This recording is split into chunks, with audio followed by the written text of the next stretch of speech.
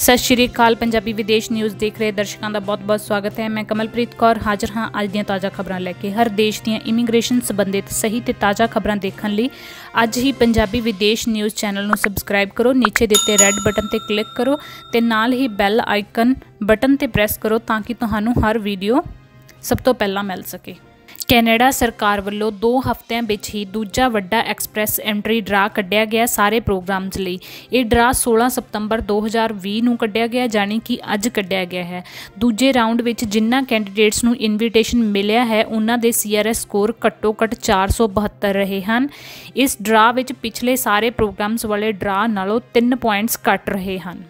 ਇਸ ਡਰਾ ਵਿੱਚ 4200 ਇਨਵੀਟੇਸ਼ਨ ਟੂ ਅਪਲਾਈ ਮਿਲੇ ਹਨ। ਕੈਨੇਡੀਅਨ ਪਰਮਾਨੈਂਟ ਰੈਜ਼ੀਡੈਂਸੀ ਲੈਣ ਲਈ 2 ਸਤੰਬਰ ਨੂੰ ਕੱਢੇ ਗਏ ਡਰਾ ਵਿੱਚ ਵੀ 4200 ਇਨਵੀਟੇਸ਼ਨ ਟੂ ਅਪਲਾਈ ਮਿਲੇ ਸਨ ਤੇ 19 ਫੈਬ ਵਾਲੇ ਡਰਾ ਵਿੱਚ ਵੀ 4500 ਆਈਟੀਏ ਮਿਲੇ ਸੀ। ਇਸ ਤੋਂ ਇਹ ਪਤਾ ਚੱਲਦਾ ਹੈ ਕਿ ਕੈਨੇਡਾ ਸਰਕਾਰ ਦਾ ਪ੍ਰਵਾਸੀਆਂ ਨੂੰ ਬੁਲਾਉਣ ਵਿੱਚ ਕਿੰਨਾ ਰੁਝਾਅ ਹੈ। ਐਕਸਪ੍ਰੈਸ ਐਂਟਰੀ ਉਹ ਐਪਲੀਕੇਸ਼ਨ ਸਿਸਟਮ ਹੈ ਜਿਸ ਵਿੱਚ ਪੂਲ ਵਿੱਚ ਕੈਂਡੀਡੇਟਸ ਦੀਆਂ ਫਾਈਲਸ ਨੂੰ ਵੱਖਰੀਆਂ-ਵੱਖਰੀਆਂ ਕਲਾਸਿਸ ਰਾਹੀਂ ਸੰਭਾਲਿਆ ਜਾਂਦਾ ਹੈ। ਐਕਸਪ੍ਰੈਸ ਐਂਟਰੀ ਦੇ ਰਾਹੀਂ ਤਿੰਨ ਕਲਾਸਿਸ ਹਨ, federal skilled worker program, federal skill trades program Canadian experience class ਜਿਨ੍ਹਾਂ ਕੈਂਡੀਡੇਟ ਦੇ ਸੀਆਰਐਸ ਸਕੋਰ ਜ਼ਿਆਦਾ ਹਨ, ਉਹਨਾਂ ਨੂੰ ਐਕਸਪ੍ਰੈਸ ਐਂਟਰੀ ਰਾਹੀਂ ਇਨਵੀਟੇਸ਼ਨ ਮਿਲੇਗਾ। ਸੀਆਰਐਸ ਸਕੋਰ ਉਮਰ, ਪੜ੍ਹਾਈ ਅਤੇ ਕੰਮ ਦਾ ਤਜਰਬਾ ਅਤੇ ਇੰਗਲਿਸ਼ ਜਾਂ ਫ੍ਰੈਂਚ ਟੈਸਟ ਬੈਂਡ ਦੇ ਆਧਾਰ ਤੇ ਦਿੱਤੇ ਜਾਂਦੇ ਹਨ।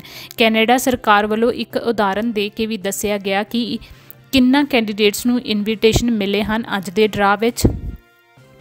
ਜਿਵੇਂ ਕਿ ਐਂਥਨੀ ਅਤੇ ਸਲੀਮਾ ਮੈਰਿਡ ਨੇ ਤੇ ਐਂਥਨੀ ਦੀ ਉਮਰ 34 ਸਾਲ ਦੀ ਹੈ, ਜਦਕਿ ਸਲੀਮਾ ਦੀ ਉਮਰ 31 ਸਾਲ ਦੀ ਹੈ। ਦੋਨਾਂ ਦੀ ਇੰਗਲਿਸ਼ ਬਹੁਤ ਵਧੀਆ ਹੈ। ਐਂਥਨੀ ਕੋਲ ਬੈਚਲਰ ਡਿਗਰੀ ਹੈ, ਜਦਕਿ ਸਲੀਮਾ ਕੋਲੇ ਮਾਸਟਰ ਡਿਗਰੀ ਹੈ। ਉਹ ਦੋਨੋਂ 4 ਸਾਲ ਤੋਂ ਅਕਾਊਂਟੈਂਟ ਦਾ ਕੰਮ ਕਰ ਰਹੇ ਹਨ। ਸਲੀਮਾ ਦੁਆਰਾ ਐਕਸਪ੍ਰੈਸ ਐਂਟਰੀ ਪੂਲ ਵਿੱਚ ਪ੍ਰੋਫਾਈਲ ਬਣਾਈ ਗਈ ਤੇ ਸਲੀਮਾ ਹੀ ਮੇਨ ਐਪਲੀਕੈਂਟ ਸੀ ਤੇ ਇਹਨਾਂ ਦੇ ਸੀਆਰਐਸ ਸਕੋਰਸ 472 ਬਣਦੇ ਸੀ।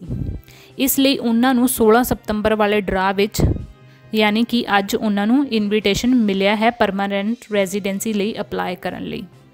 ਜੇ ਤੁਸੀਂ ਇਸ ਬਾਰੇ ਪੜ੍ਹਨਾ ਚਾਹੁੰਦੇ ਹੋ ਜਾਂ ਅਪਲਾਈ ਕਰਨਾ ਚਾਹੁੰਦੇ ਹੋ ਤਾਂ ਵੀਡੀਓ ਡਿਸਕ੍ਰਿਪਸ਼ਨ ਵਿੱਚ ਦਿੱਤੇ ਗਏ ਲਿੰਕ ਤੇ ਕਲਿੱਕ ਕਰਕੇ ਤੁਸੀਂ ਸਾਰੀ ਜਾਣਕਾਰੀ ਲੈ ਸਕਦੇ ਹੋ। ਅੱਜ ਦੇ ਬੁਲੇਟਿਨ ਵਿੱਚ ਇੰਨਾ ਹੀ। ਜੇ ਤੁਸੀਂ ਹੋਰ ਵਿਦੇਸ਼ ਦੀਆਂ ਤਾਜ਼ਾ ਤੇ ਮਹੱਤਵਪੂਰਨ ਖਬਰਾਂ ਦੇਖਣਾ ਚਾਹੁੰਦੇ ਹੋ ਤਾਂ ਫਿਰ ਅੱਜ ਹੀ ਪੰਜਾਬੀ ਵਿਦੇਸ਼ ਨਿਊਜ਼ ਚੈਨਲ ਨੂੰ ਸਬਸਕ੍ਰਾਈਬ ਕਰੋ ਤੇ ਬੈਲ ਆਈਕਨ ਤੇ ਪ੍ਰੈਸ ਕਰੋ ਤਾਂ ਕਿ ਤੁਹਾਨੂੰ ਹਰ ਨਵੀਂ ਆਉਣ ਵਾਲੀ ਵੀਡੀਓ ਸਭ ਤੋਂ ਪਹਿਲਾਂ ਮਿਲ ਸਕੇ। ਮੈਨੂੰ ਦਿਓ ਇਜਾਜ਼ਤ ਸਤਿ ਸ਼੍ਰੀ ਅਕਾਲ।